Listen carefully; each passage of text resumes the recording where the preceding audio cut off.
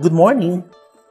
This will be your teacher for today, Mr. Ruben A. Alleluia, and I will be teaching you the subject Media and Information Literacy.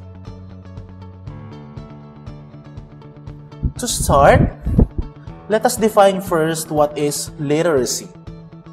Literacy means it is the ability to identify, understand, interpret, create, communicate, and compute using printed and written materials associated with varying contexts.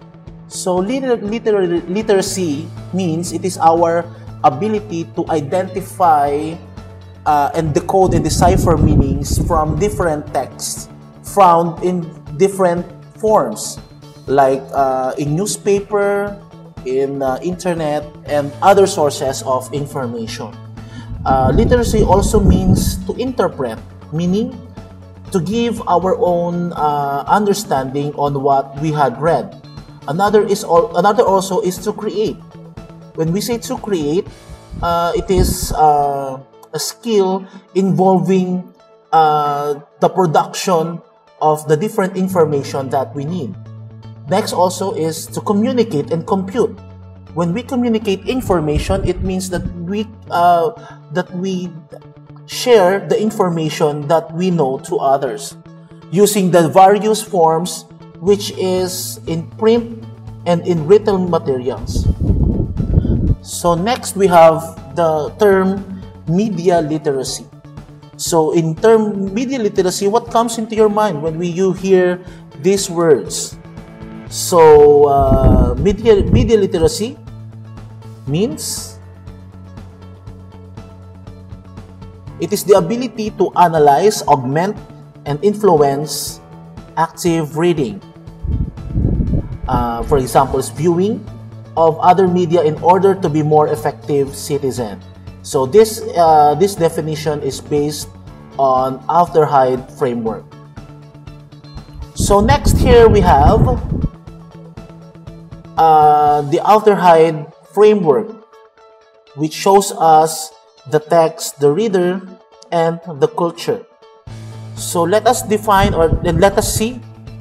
According to Alderhyde 1992, the three verbs in this definition are important and correspond roughly to consumer skills, user skills, and producer skills. So when we say analyze here, the media literate person recognizes that she is actively negotiating meaning with the media text. In addition, she is aware of factors which affect the negotiation, including personal factors like gender, race, skills, and how she is wanting to use that text. Okay? So, uh, the reader is also aware of text related factors like medium, like the medium through which is presented. So the reader here analyzes. So this is the connection between the reader uh, through the text. So uh, the reader is trying to uh, get what what would be the meaning of a certain text in analyze. The next one is the augment skill or the, the augment. Uh, the media literate person is able to locate appropriate additional sources to further study any topic or interest, for example, a political story in the newspaper. This ability includes being able to effectively use appropriate technology such as computers, VCRs, and videotape recorders for uh, capturing of first-hand knowledge. So it means uh, augment means uh, the way the the reader looks for information.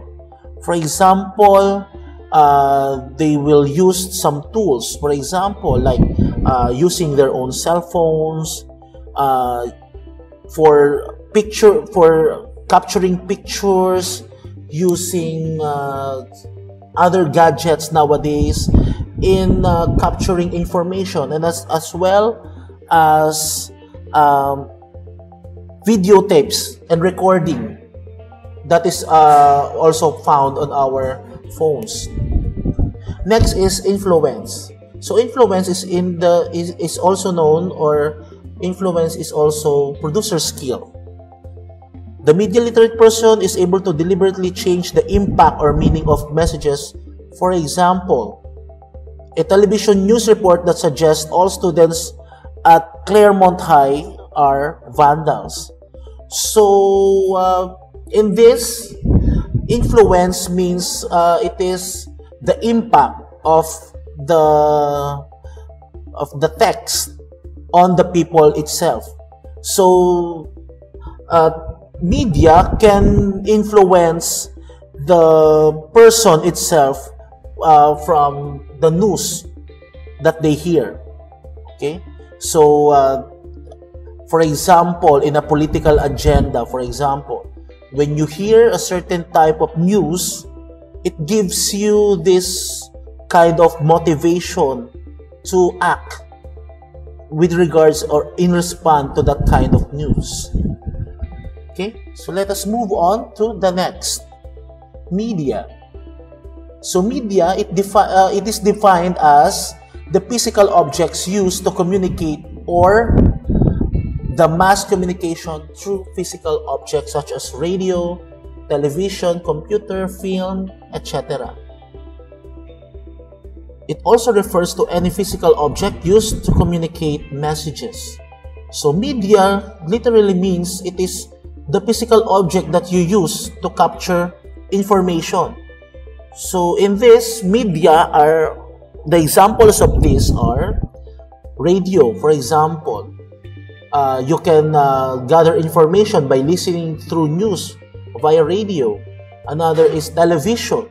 You can also see television for more information, computers, films, and etc. So, media literally means these are the physical objects that you use for communication. Like, uh, what are the different examples of media that you use every day? For example, you have your cell phones. You have your telephones. That is an example of media. Next, we have media literacy. So let us define what is media literacy. Media literacy is the ability to access, analyze, evaluate, and create media in a variety of forms. It also empowers citizens by providing them with the competences or knowledge and skills necessary to engage with traditional media. We have media literacy. So, another eh, media literacy throughout the years, educators have come out with various definitions of the term media lit- literacy. Nevertheless, being media literate, you can decode evaluate, analyze, produce both print and electronic media. So, in uh, a person that is a media literate can decode, evaluate, and analyze, and also produce uh, print and electronic media. So, in simple terms, if you are a media literate, you can uh, you can decipher uh, good information. So you can also know what what are the different uh, legit or legitimate news from fake news. If you're also a literal a, a media literacy, you know how to uh, how to examine a certain information if that certain information is true or not. Okay, so moving on, what are the different benefits of media literacy? So, like all any other skills and knowledge, being a media literate also has its own advantage. First, we have being media literate develops your critical thinking skills. Okay, so how can we say that uh, that being a media literate develop your thinking skills. As we said earlier, there is a word there, there is a word analyze in the definition, which means you analyze certain information that you get from different sources. You also validate that kind of um, information that you get. Okay? For example, you need an information. Is it enough that uh, you only look for one sources? You, is it enough that uh, when you when you see or when you found a certain a certain information, is it enough that uh, you take it as the truth? No. Uh, you, all you have to do is to validate and to look for another sources which may help you uh, validate that certain kind of information. Next, understand how media shapes our culture and society. Media shapes our culture and society by how? Um, media media messages shapes our culture and society by, um, for example, spreading spreading uh, spreading different kinds of information in the society, which which may affect our our view. For example, is the politics. For example, um, if we hear some news that uh, the president is not doing his job and it is rampant all over the internet and all over the various forms of media, we might believe it. Okay? So that is how media can change our perspective and also shape our culture and society. And um, if you are a, fan of different apps on the cell phone, uh, if you know the TikTok, diba? so uh, you are you are using that kind of app, and that is the trending nowadays. So um, media can also affect our culture as um, as we use them. Okay, next we have identified target markets marketing strategies so next we have recognize the media maker wants us to believe or do. So the benefits of knowing media literacy is to recognize what the media maker wants us to believe or or do. Next we have name the techniques of persuasion used. Okay? So uh, if a person is giving you some information they're also persuading you to believe the information that that they create. Okay, so with this, being illiterate, being a media literate person, you can name the techniques uh, that they use to persuade to persuade you to believe their uh, to believe their or to believe the information. Next, we have recognize bias, spin, misinformation, and lies. So if you are a media literacy, uh, you won't believe such uh, information with uh, or you you will not accept uh, you will not accept it by heart whatever the news that you see in the internet why because you will be too skeptical to believe that certain information for example you will ask yourself Is it is this really true? Totoo kaya to, yung ganitong mga naririnig ko? So with this, you can recognize what are the different bias. What could be the spin?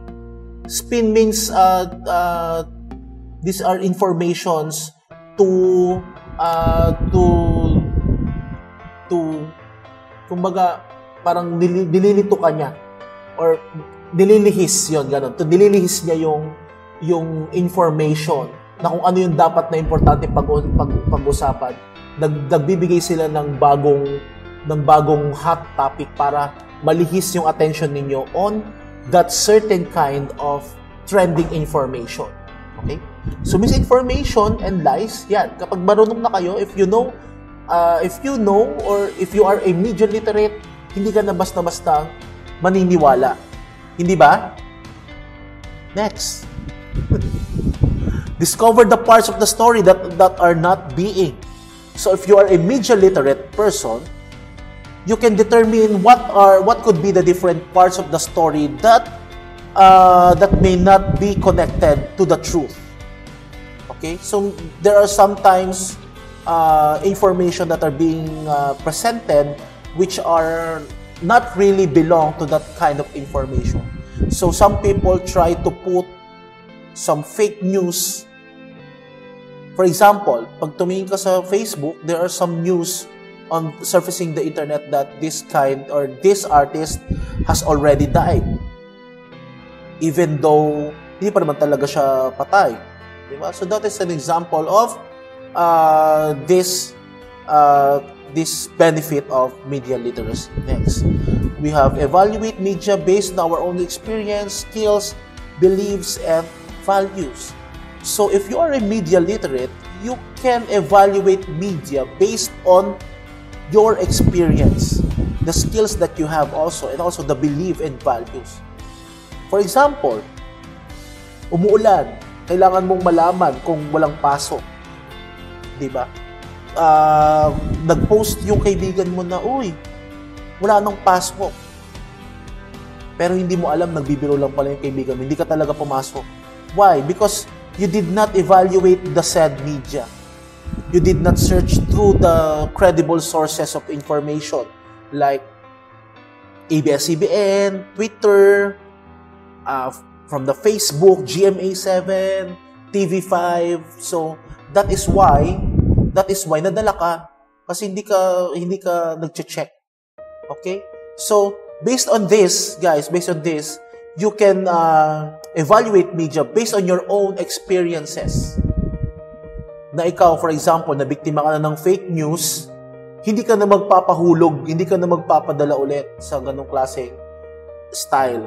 Okay? So, you will evaluate the information. Next. Number nine, create and distribute your own media messages. If you are a media literate, you can create and distribute your own media li- messages. Okay, so you can you can uh, make your own messages via different platforms and via different forms. Pwede mong gawing written, pwede mong gawing virtual like this, for example. Kaya nga ngayon, di ba, for example, we, uh, teachers are also examples of media literate person. Because why? Nakakapagturo sila on on front of the live students and at the same time, they can also teach students with the use of audio and recording like this one.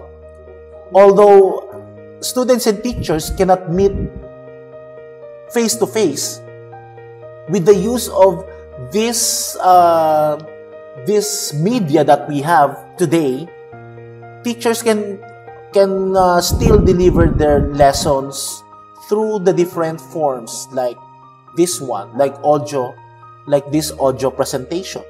Next, number 10, advocate for media justice. So, uh, in our country, uh, media justice is such uh, such uh, a uh, such an important um, issue. Why? Because uh, some uh, some believes that uh, the media is being silenced by the government. So, with the use of media, you can express uh, what you feel. You can express and you can advocate for cha- for change and justice. For example, ayaw mo sa administrasyong ito. Eh, hindi tayo makapag-rally ngayon because it is pandemic. What are you going to do? You can post your sentiments over the internet. Pwede mo gamitin yung internet as a uh, source of your as a uh, platform for you to to uh, advocate what you want to advocate. All right? So next here we have information literacy. So first, what is information? Information, it is a broad term that covers processed data, knowledge derived from studies, experience, instructions, signals, or symbols. So first, let us go what uh, or let, let us uh, let us um, analyze this definition. First, we have uh, that covers process data. What do we mean by process data?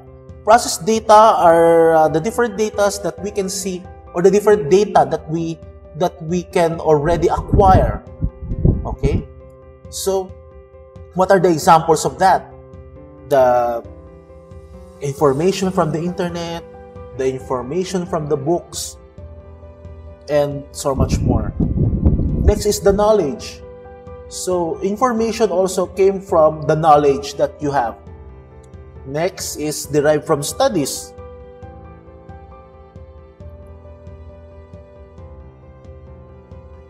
Knowledge derived from studies. So, like research, for example, di ba? And we can gain information if we do research. Di ba? So, lahat naman tayo, as a grade 11 students last year, di ba? Lahat kayo ay nakaranas ng, ano, ng, ng research. So, at the end of your research, what have you found? Ano yung mga nakita ninyo? Okay? Next, experience. Information is also based on experience. Okay, so you experience something and then you gain information on that. For example, you go on a trip. For example, pumunta kayo sa Batanes, for example. So ano yung mga nakita mo sa Batanes? Oh, yeah, like this, nakita ko to. Si ganit, nakita ko yung mga tao, ganito, may, gana, may ganitong sinusuot sa ulo. Pag umuulan, meron pala nung honesty store. Malayo pala ang Batanes. Sa Batanes pala, mas pag nanood ka ng TV, nakakakuha ka na ng Chinese na mga channels. Why? Because you experience being there. Nandun ka to tell the story. Signals or in, signals or symbols. So, ang information hindi lang natin siya makikita in a paper. We can also see them through signals or symbols. How? For example, you are a driver, di ba? If you are a driver, when you see the stoplight, when you see the stoplight, there are three colors in the stoplight, right? So, uh, if you see the green light, what are you going to do? It is a symbol or it is a signal for you to go, right? So, if you uh, if you can see some other traffic signs along the road, that is also one example of signals and uh, signals and symbols. Okay. Next, we have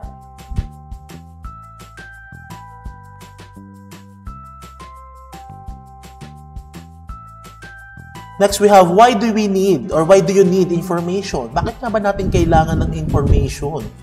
Di ba?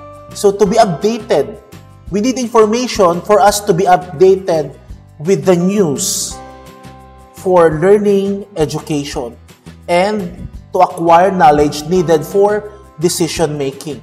Okay? So first, let us uh, analyze this first again. So let us go to to be updated with the news. So we need information for us to be updated on the different current events in our surroundings. It is not enough that we only knew something about our environment, but we also it is also important that we know what hap- what what is happening in our surroundings. Okay? So for learning and education purposes, for example, itong pagpasok ninyo sa paaralan, di ba? So we are, uh, for example, you are from a certain strand or a certain course. If you, uh, we need information to know more about your strand or your course. Di ba? Next is to acquire knowledge needed for decision making. So if you need information, meaning uh, meaning uh, you can use that certain information for your personal uh, decisions in the future. Next, where do we search for information? Saan daw tayo maghahanap ng information? We have different sources like internet, television, library, radio, newspapers, etc. So meaning, lahat tayo ay uh, makakakuha ng news, especially sa panahon natin today, which is uh, we can we can search our smartphones. For example, magpa-load ka lang dyan ng 10 pesos, you can search for news on your phones. You can watch uh, different programs on your on your phones right now For example, 'di ba ABS-CBN wala na sila sa wala na sila sa TV ngayon, 'di ba? But they are on what we call the digital platforms like YouTube, Twitter, sa Facebook, sa Twitter ay sa sa YouTube 24 hours silang live ang ang ABS 24 ata or whole day silang naka-live. So, if you want to search for something, if you want to search for information, if you want to learn, you can use this kind or, or these sources for you to look uh, for you to uh, to search for information. Next, how can we acquire or how do we acquire information? Next, by written form, in printed form, photocopy, photograph, download, cloud storage, record, external memory drives, and memory cards. So, alin dito yung mga gamit ninyo? Ang pinaka-common, the commonly used, is the writing and the printing. The also the photocopy, photocopy and the photograph. Yan po yung mga madalas nating ginagamit. And at the same time, ginagumagamit na rin tayo ng cloud, ay ng download. Okay? So for example, nakita mo yung assignment mo on the internet. Di ba? So you can download that on uh, on your PC and you can review that. Okay? So cloud storages, ano yung mga cloud storages? So meaning these are these are the uh, These are the uh, storage on the internet.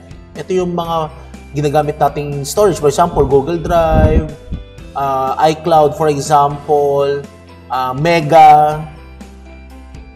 Yan, yan yung mga example ng cloud storage. Wherein we can store our files through the different cloud storage on the internet. Okay, meron tayong meron din tayong one yung uh, cloud sa Microsoft. That is also an example of cloud storage. Record. Gaya nitong ginagawa ko ngayon, record. So you can record your uh, voice. You can record for example nag nag nag-lecture yung teacher ninyo and then uh, narinig nyo yung importanteng mga tips or importanteng words or terms, you can record the voice of your teacher. Next is the internal, uh, external memory drives. So nakita na siguro kayo ng mga external memory drives, 'di ba? Yun yung mga yun yung mga hard drives na ginagamit ninyo like malalaki yung mga sizes niya like 500 gigabyte, 1 terabyte, 2 terabyte, minsan pinaglalagyan ninyo ng mga K-dramas, movies, ganyan. Okay? So memory cards, memory cards uh, usually are found on your cell phones. Why? Kasi yung mga memory cards na yan, yun yung nag-extend ng memory or ng storage ng ating mga cellphone. So aside from the storage of our internal storage of our cell phones, we can also extend the capacity wherein we can store information with the use of memory cards. Okay, next. How will you determine the quality and accuracy of the information that we have? Paano natin madedetermine kung uh, yung quality and accuracy of the information na meron tayo. Number one, it should come from a reputable source. So, what do you mean by it came it should came from a reputable source? Meaning, yung source, meaning yung uh, information na pinanggalingan ng ating mga, for example, na kailangan nating information, should came from the different uh, legal institution, not, not really legal, but uh, government and reliable institutions. For example, gusto natin malaman kung kailan ang first day of classes natin. So, saan tayo titingin? Aside from your Facebook accounts. So, tumingin kayo sa website ng DepEd, tumingin kayo sa website ng uh, ng government, sa Facebook, kasi ang ating gobyerno naman, guys, meron silang mga different Facebook pages. Ano? Kasi bakit? Bakit sila gumagawa ng mga Facebook pages? Kasi uh, they are trying uh, their agencies to be more accessible on the people. Okay? Kasi kung, kung halimbawa, ang uh, gobyerno will will remain as is yung hindi sila gagawa ng mga Facebook pages, paano tayo makakapaglabas ng mga reklamo natin? Paano tayo makakapagpaabot ng ating mga complaints? Di ba?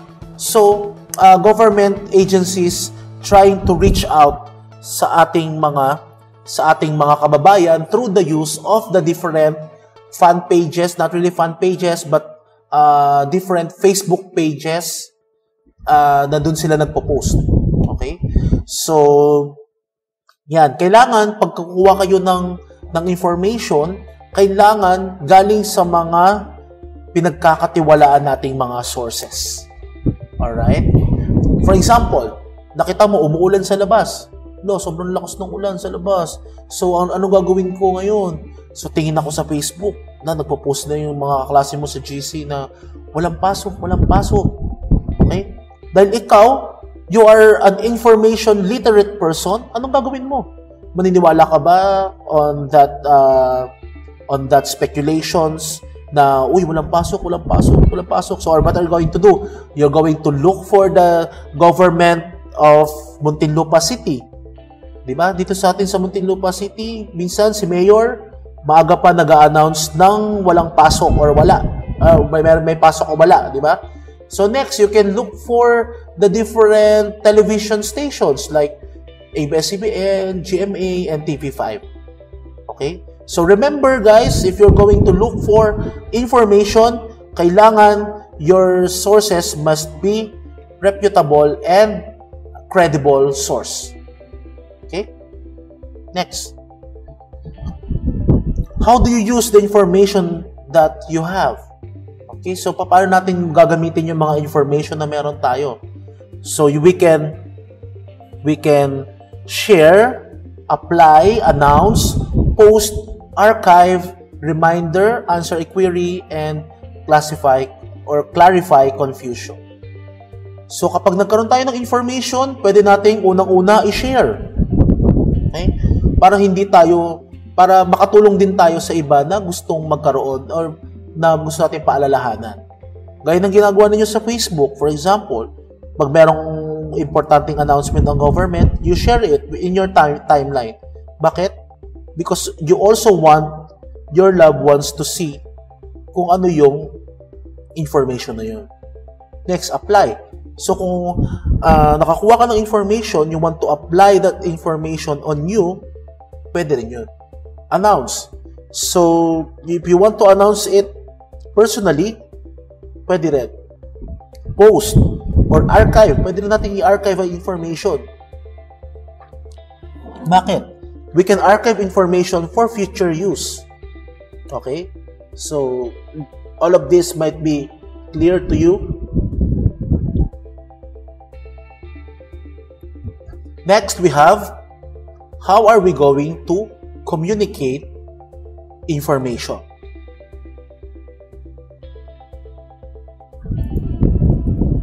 So, yan. How are we going to communicate? How are we going to share this? By announcement, texts, post to social media, face-to-face session, via a note, chat, email, save to or save file. Okay? So, for example, pwede natin gamitin tong post to social media yan naman natin yung yan naman yung common na ginagawa natin. Kapag may nakita tayong information, ang ginagawa natin is to uh, post it on social media. Why? Because on our social media, there are a lot of uh, viewers. There are a lot of uh, uh, people on the social media. Kaya if we post it on social media, meaning mas marami tayong maaabot. No? Uh, next is face-to-face session. So, for example, you have some information, pwede mo siyang i-share face-to-face by the, to that person. Okay? Next, we have note. Di ba? Kapag meron kang information, halimbawa, may nililigawan ka, maglagay ka sa sticky note, gusto mo ba ipag-date sa kanya, date at uh, 8 p.m. in ganitong klaseng lugar. Tapos dikit mo sa table niya. Then, makikita niya yun, alam niya na yung dapat niyang gawin. Okay? So, this is the most commonly used way to communicate information which is chatting. 'Di ba? So ngayon, marami nang uh, marami na tayong way para i-send ang information but through chat, ito yung madalas nating ginagawa. Personally nga, hindi na ako naglo-load. Bakit? Kasi sa Smart, libre naman ang Messenger. Di ba? Sa Messenger, pwede ka makapag-send ng not only chat, but also, you can also send pictures, sounds, emojis, GIFs, and many more. Okay? But, pero ang kaibahan lang, syempre, pag free data ka, ang mangyayari ay uh, hindi mo makikita yung, yung picture. Okay? Email. So, personally, pag magpapasend ako ng pictures, sa email ko pinadadaan. Okay? So, some also uh, important important transactions are being uh, sent in uh, sent through emails. Okay? So, save file. For example, meron kang research. Di ba? Anong ginagawa mo sa research mo? So, hanap ka ng mga PDF online. Hanap mga PDF, mga uh, kung ano-anong file. And then, anong gagawin mo? You're going to save that file. Bakit? Para pag kinuha ng leader nyo sa thesis, hindi siya mangangarag. Kasi, ang gagawin niya, kukunin niya na lang yun, konting paraphrase, o di ba? Tapos. Okay? So, yun. So, this is how can we communicate information. Next. Information literacy, as Ched defines it, it is the ability to recognize when information is needed and to locate, evaluate, and effectively communicate information and various formats. So if you are an information literate person, um, you know when information is needed. Okay? Kailan natin kailangan ng informasyon? Alam mo kung kailan natin siya kailangan. Alam din natin kung saan natin ilolocate ang, eval- ang information and evaluate. And as well as, alam din natin kung paano siya i-communicate sa iba. Di ba? Minsan kasi kapag kumukuha tayo ng information, nalilimutan na nating i-share sa sa iba eh. Okay? Nagiging, minsan nagiging parang makasarili tayo at, at point, at some point. Pero, if you are an information literate person, you know when that information is needed. For example, uh, ito na lang gamitin na natin yung mga oras na umuulan kasi yan naman yung yan naman yung madalas na na nagiging uh, problema or not, not really problem but yan yung madalas na nagiging concern ng mga estudyante kung papasok sila or hindi. Kapag nakita nilang madilim agad ang langit, naku, Diyos ko. Eto na, di ba? So magtatanong na sila sa mga classmate nila, Uy, uy, sa GC, uy, may pasok ba? Uy, wala ba? Yun, 'Di ba? Kapag nakita mo kapag nakita mo yung situation, uh, you know that you need the information right away. 'Di ba? Kasi nakita mo uy madilim yung langit? Isipin mo uulan. That is the time when you need the information. Okay? So I need this information. I need this kung, kung uulan ba o hindi. Next, the next step is to locate your information. Saan ka maghahanap? Doon ba sa mga GC ninyo which is unreliable? No. Pupunta ka sa mga legitimate webs, websites. Okay? Sa mga sa mga ABS-CBN, Twitter, nakita mo yung depth, yung city government of Puntinlupa, nag-declare na walang pasok yon. That, that is the time you can evaluate that the information being posted on Muntinlupa City Government uh, webpage is true. Bakit? Gobyerno na yun eh. Gobyerno na nagsabi nun na walang pasok. Di ba? Next is effectively communicate information. So, paano mo i-share? Pwede mo, pwede mo sabihin sa GC ninyo, uy, sabi sa Twitter, ganito, ganyan. Pero mas maganda, kapag i-share mo yung iyong, pag i-share mo yung information na nalaman mo, kasama sana, is-screenshot mo na, kasama yung web page na nagsabi or yung web page kung saan mo nakita yung information. Okay? Lahat naman tayo ginagawa rin yan. Ginagawa ko rin ngayon minsan. Di ba? So, yun. So, that is information literacy. Next is uh, the next we have here is the general framework of information literacy for higher education. So we have here the six vital concepts of information literacy. So we have we have here first Authority is constructed and contextual. So this means that the information literate individual is able able to evaluate the legitimacy and credibility behind the piece of information. So, ibig sabihin nito, guys, kapag ikaw ay isang information literate person, alam mo kung paano mo kung paano or alam mo na ang in, certain information na yan ay totoo or hindi. Okay? So, is that uh, information true or not? Yan lang yung magiging tanong mo sa sarili mo with this kind of uh, concept. Okay? Next, we have information creation as a process. So this is very interesting, no? Meaning that the information literate individual is able to evaluate not only the content of the information, but also the process involved in creating this content. This content no? So meaning um, if you are a if you are an information literate person you know how information is being processed. So alam mo kung paano nila kung paano nila ginagawa yung mga ganyang klase information no so uh, you know only not only the content but also the process involved kung paano nila ginagawa yung pag-produce ng ganyan klaseng process. Okay, next. We have information has values, meaning that the information literate person realizes that even though information can be accessed for free, it has many forms of value. Okay? So, ang information, guys, meron niyang halaga. Okay? Ang information may halaga yan. So, alam nyo ba na information can also be sold and also be or also can be bought. Pwede tayong bumili ng information, guys. Ganyan ka ganyan ka ano ang eh, information.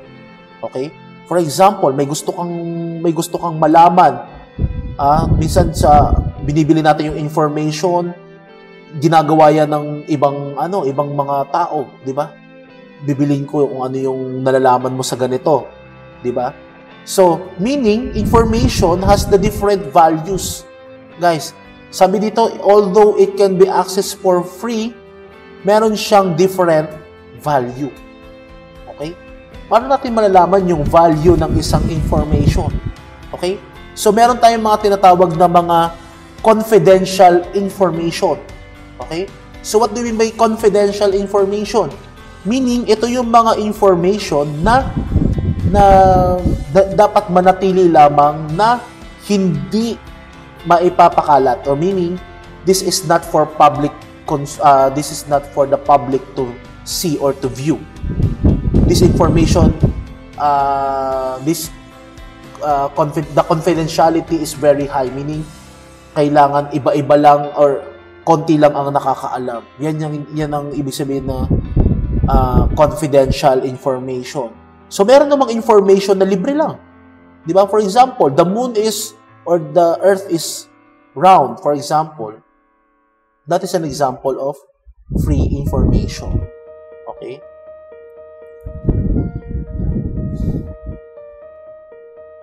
Next, we have searching as strategic exploration. So this refers to the ability of the information literate to devise various multi-steps process in acquiring information. So meaning, pag sinabi nating uh, uh, strategic exploration, meaning, for example, sino ba dito yung mga nakaranas ng mag-experiment, di ba? So, if, if you are, uh, uh, if you are uh, experimenting, di ba, uh, we have this question na gusto nating mas- masagot. And through the multi-step process in acquiring information, at the end of the research, makikita natin na yung result, that is the information that we need. Okay? For example, yung sugar. Di ba? Pag sinunog natin yung sugar, what could happen on that sugar pag sinunog natin? Di ba?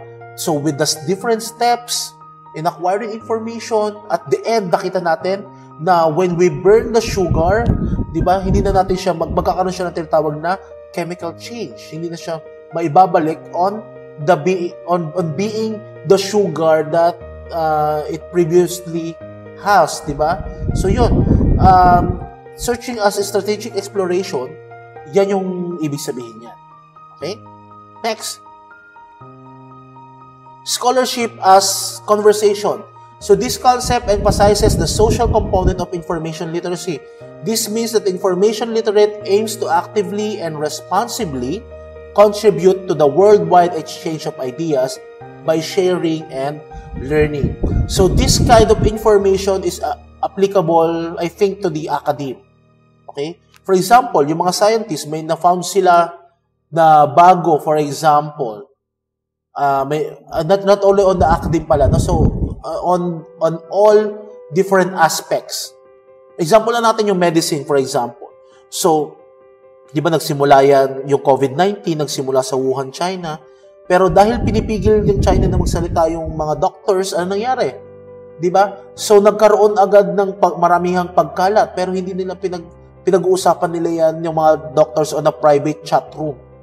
Di ba? So, with this, kung sana kung na, naipaalam ng mga doctors yung bagong type ng uh, respiratory disease na yan, which is COVID-19, sana mas mabilis na nakagawa ng paraan ang lahat ng tao. No? Especially on the experts on the field of medicine. Yan na magiging ano nila. Yan na magiging parang uh, magiging problem, not really problem, but uh, yan yung sana yung nagawa nila para hindi kumalat itong COVID-19 na ito. Okay? So not only on that, for example, is uh, you discovered something. For example, nakadiscover ka ng bagong species ng butike. Di ba? Ipapangalan mo sa pangalan mo. Halimbawa, uh, ganito, ang papangalan mo sa butiki mo, butikitus. Ganyan. Okay? So, uh, papangalan mo siya o ilalagay mo yan sa isang book, ipapublish mo yan. So, sa mo siya na-discover. So, with that, malalaman ng iba na mag, meron kang na-discover na bagong species ng butike. Okay? So yeah, that this is the intelligent exchanges of information. Okay? So next is research as an inquiry. So this means that information literate respects and applies the research process. Their curiosity to learn guides them in seeking information and in expanding their knowledge by continually asking new and more difficult questions. Okay? So as we know, research starts by inquiry. What do we mean by inquiry? Ang research kasi nagsisimula yun sa isang tanong. Okay? So, meaning, so, if you if, if we want to gain more information, uh, it uh, all information gathering starts by one initial question in mind. Okay? So dito, ang ginagawa natin, on the research, di ba, na, nalaman nyo naman yan on your grade 11 days, di ba? Nag, anong ginagawa ninyo? Naghahanap kayo ng tanong, ay, naghahanap kayo ng, ng tanong sa, sa umpisa, tapos maghahanap kayo ng different uh, different uh, information on internet, on books, yan. Yan yung mga ginagawa ninyo. And then, you you synthesize every information until at the end of your research, nasagot na yung tanong ninyo. Diba? Ano yung tanong ninyo? Which, that is your research title. Okay? So, dito sa research as inquiry, di ba? So, uh, meron tayong tinatawag na, di ba, kumukuha tayo ng information from different person. We're respecting those uh, information that came from uh, from the people ahead. 'Di ba? Yung mga pinagkuhanan natin ng information. Kaya nga pag nag-research tayo, hindi natin kinakalimutan na mag-citate. Bakit? Kasi pag hindi tayo nag-citate, makakasuhan tayo. 'Di ba? So 'yun. So that is the six vital concepts of information literacy. Next. Let us go now to the different elements of information literacy. First, we have number one, identifying and recognizing information needs. So maybe this is a self-explanatory na, di ba? So, sabi ko nga kanina, ang research ay nag-uumpisa sa isang tanong. Okay? So when um, when you have this one question in your mind, that would be the time na kailangan mo na ng information. Okay? Bakit?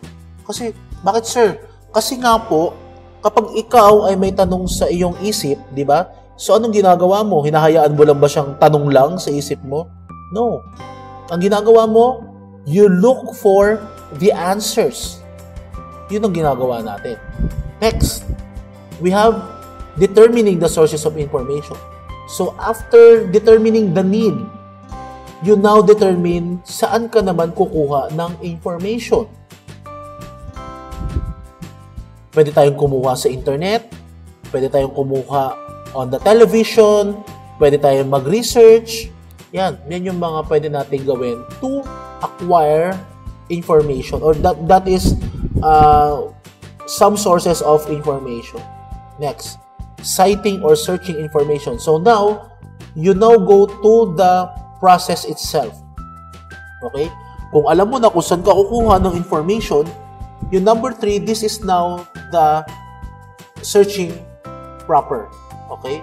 Ito na mismo yung parang pinaka, ano mo, pinaka, tawag dyan? Ito na yung pinaka pagsa-search. Okay? Next, we have analyzing and evaluating the quality of information. So after you have sight, after yung makahanap ng information, it is now the time of analyzing and evaluating the quality of information. So is this true? Is this is, is this credible? Mapagkakatiwalaan ko ba tong sources na to? So yun. That is an example. That is that is how we analyze and evaluate the quality of information. Next, number five, organizing, storing, and archiving information. So, we can organize information by hierarchy or by uh, the importance of the said information. The more important the information is, kailangan it is more accessible. Okay? So, after that, after you organize, you store your information. Okay? So, why do we need to store? Because if we did not store the information that we have uh, searched, ano mangyayari? pwedeng kailanganin natin ulit yung information na yan. At kapag kinailangan natin yung information na yan, hindi na natin makukuha kasi dinilit mo na eh. Diba? So next, archiving information. Why do we archive information? Because sa research, pwede yan magamit ng mga future researchers. Yung archiving information. Okay? Next, using information in ethical, efficient, and effective way. So using information in ethical means let us not forget to citate or to acknowledge the author of some information that we made that we might be using in the future.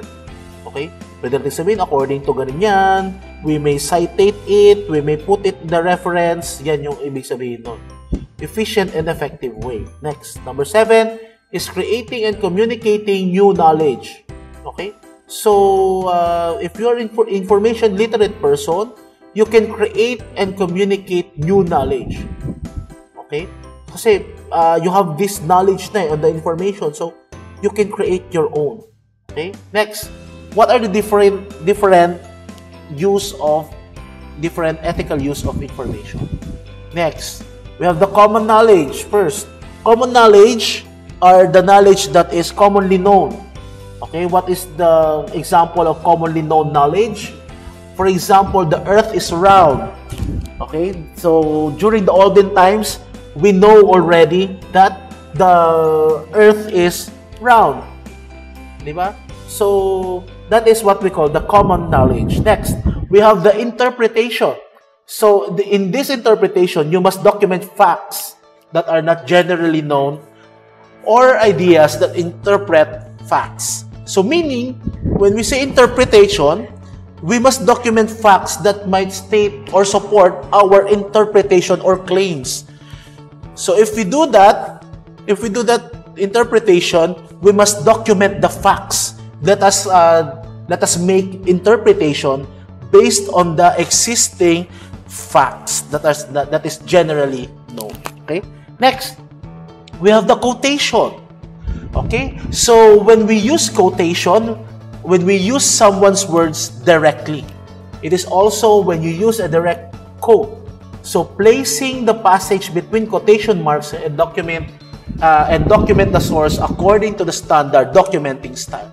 So with this, we can use the different document or different referencing style like APA, MLA, yan yung mga example niyan.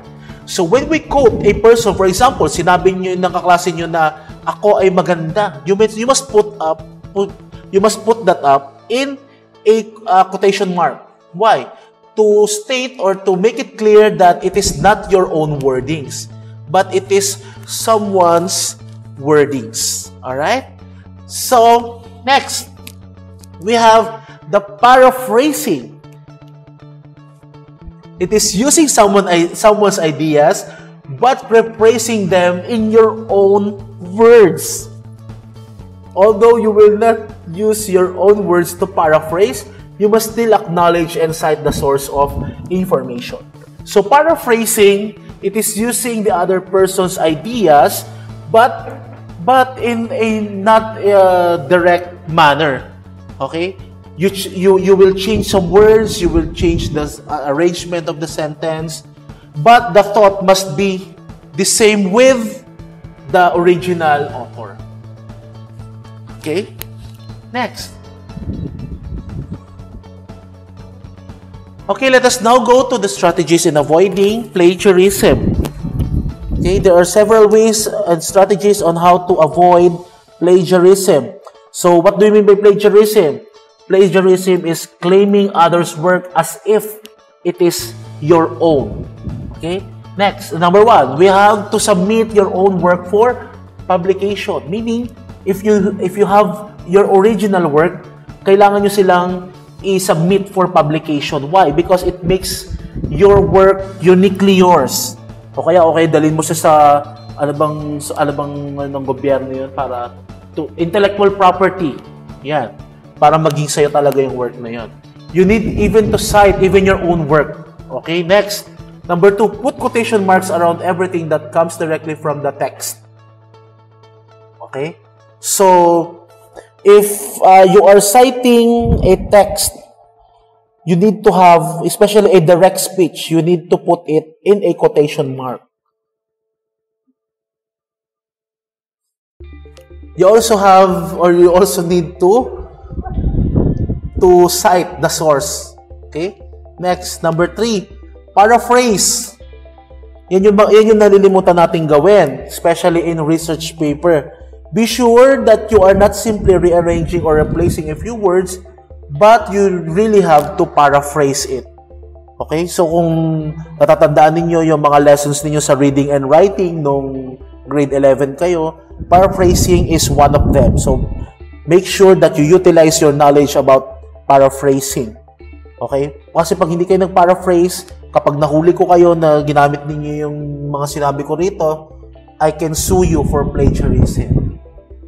Okay? Next. Number four, keep a source journal, a notepad, or note cards. Annotated bibliographies can be especially beneficial. Okay, so you you you have to have this journal. Why? Because you need a compilation of the different sources that you have. A notepad, a note cards. Alright? Next, use the style manual in properly citing sources.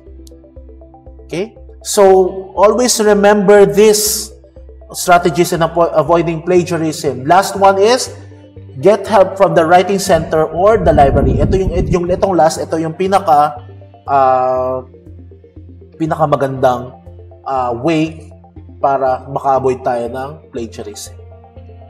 Okay? Let's move on. And now, we have the technology literacy.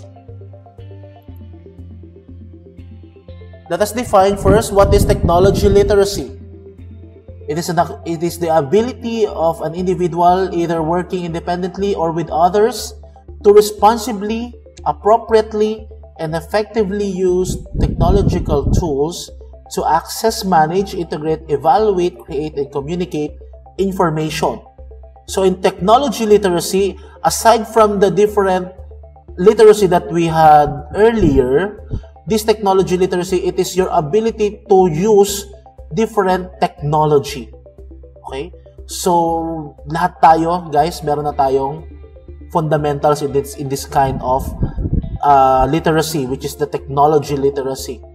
Okay? So, technology literacy can also be defined as the essential skills and competencies that allow individuals to engage with media and other information providers effectively, as well as develop critical thinking and lifelong learning skills to socialize and become active citizens. Okay? Next, it is also subdivided into hardware literacy and source uh, and software literacy.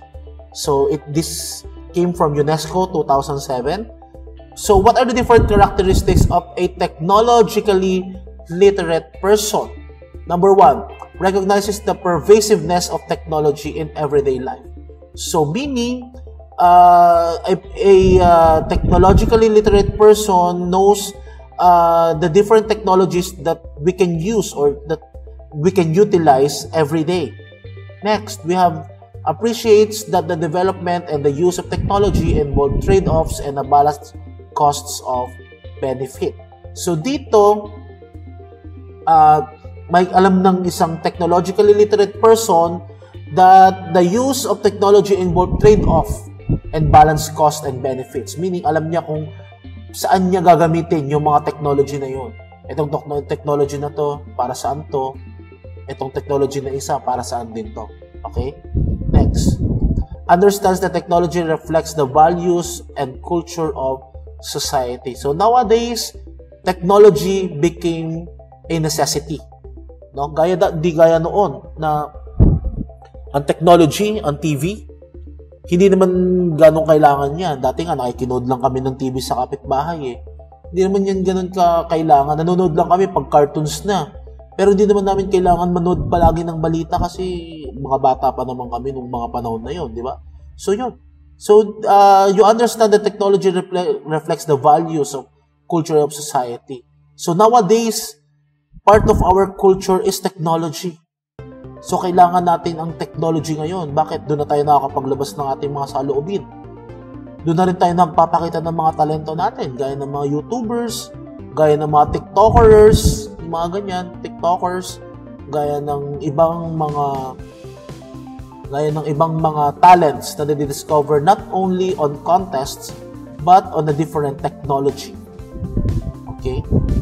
Next, knows some of the ways of technology has shaped human tech history and how people have shaped technology.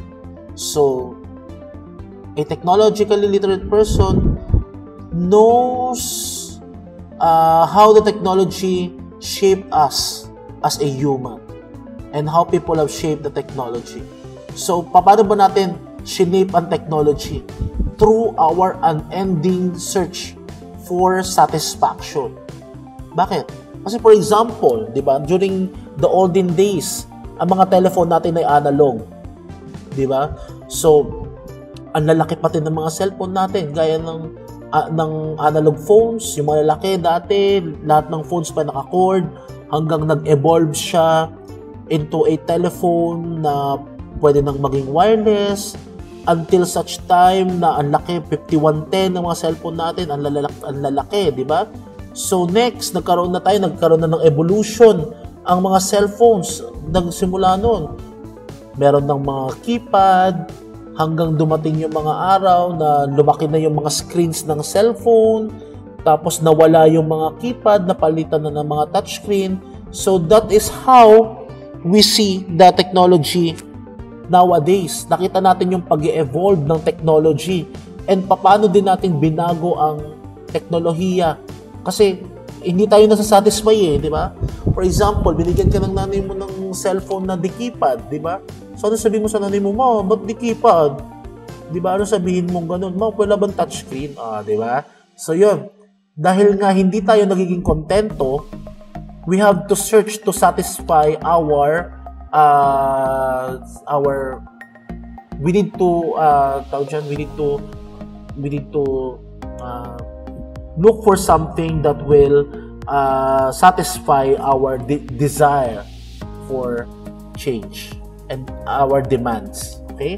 Next, number five, knows all the technologies entails risk, risk not uh, or all, only some of which can be anticipated. So, lahat ng technologies ay may risk. Okay? Only some can be anticipated. So, hindi naman natin, hindi naman lahat ng risk sa technology ay uh, alam natin. No? Pero, uh, alam natin na ang mga technology ay meron talagang risk. For example, pag humarap ka sa computer ng matagal, ano yung mga anong mga stress ang mga pwede mong makuha? Pwede kang makakuha ng radiation, pwede kang makakuha ng uh, kung ano-ano pa. Pag lagi kang bumipindot sa cellphone mo, anong mangyayari sa mga daliri mo. So yun, yun yung mga example ng mga risk na technology sa health din natin. Okay? Next, we have here adapting media and information in the Philippines. So here, So here we have here the uh, the uh, media and information literacy in the Philippines. So in 1960s, uh, it is the start of MIL and education classes. 1970, new organization, uh, the PAME, which is the Philippine Association for Media Education, church-based organization, promote the concept of media awareness in 1987. And in 2000, uh, the new resource book, Media Education, a teaching manual. Uh, in the by the end of 2000, uh, UNICEF Manila publication, Your Guide to KD TV Viewing, and on 2011, Ramon Tuason co-authored the book UNESCO MIL Curriculum. So next.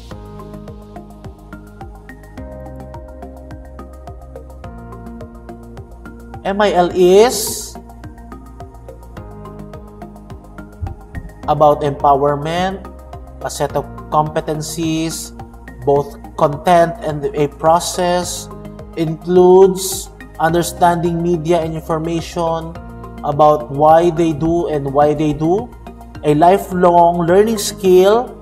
It is about analysis of media and information as a basis for creating meaningful media messages. Includes evaluating information as a basis for good decisions includes analysis of messages and how media media creation is affected by technologies and algorithm. Okay? So MIL, alam natin yan kanina, media and information literacy. MIL is not it is not about educational technology but includes educational function of mass media. It is not about technology literacy but uh, this includes digital literacy. Okay? It is not only about uh, knowing how to use the technology, but also the entire digital world as a whole. Next, it is not about information technology, but it includes information literacy, a domain of library and information science, not a film or video production course, although media creation is an important component. Hindi lang to, hindi kayo hindi niyo hindi hindi kayo nag-aaral ng MIL for video production lang. Okay? So next is, it is not about media bashing. Okay? So what are the triple E's of MIL? So this is from UNESCO Mill Yearbook 2015, page 33. The triple E's of MIL is explore, engage, and empower. So let us take note of the questions that we have in the triple E's of MIL. First, how are we going to or how do I identify access and retrieve information and media content skillfully? Saan tayo kukuha ng information? Next, engage. How do I analyze and evaluate media and information critically? So in this engage, not only that we analyze paano din tayo mag-evaluate ng media. Okay, next, next is to empower. This is to empower how do I create, share, and use information in media content ethically, safely, and responsibly for decision making and taking action. Okay? So in media, uh, this empower means the utilization and the application of media. Okay? Next and also to explore again. So this is a uh, this is simply a repeated process.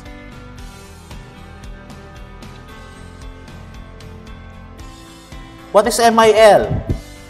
Okay, MIL stands for Media and Information Literacy, and it refers to the essential competencies and skills that allow citizens to engage with media and other information providers effectively and develop critical thinking and lifelong learning skills to socialize and become active citizens.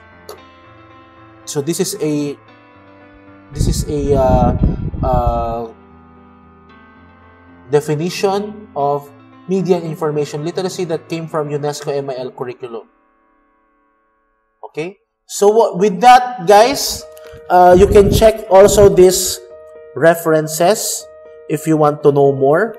And um, that is our first lesson, our first uh, uh, few first first first few topics for media and information literacy. Okay? So, um, I hope that you have learned something from the lesson and at the same time, uh, you may enjoy taking this subject for your grade 12, uh, uh, for your incoming grade 12. Okay? So, uh, see you next week and God bless. So, this is Sir Ruben again. Goodbye, guys, and thank you.